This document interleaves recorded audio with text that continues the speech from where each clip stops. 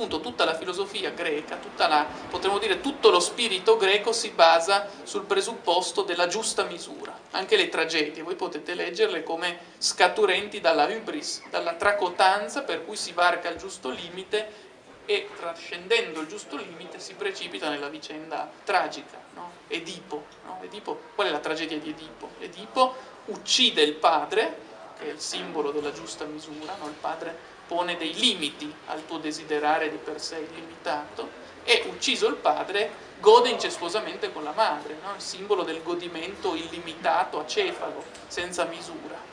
Ma tutte le tragedie greche si reggono su questo eh, dispositivo narrativo. Quindi i greci, per dirvi che i greci condannavano l'illimitatezza.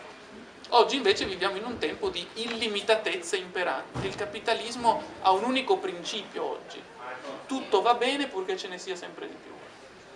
Voi pensate anche solo allo stratagemma delle reclame pubblicitarie, tutto senza limiti, tutto senza limiti. L'illimitatezza pienamente scatenata della crescita, del profitto, della produzione, dello scambio.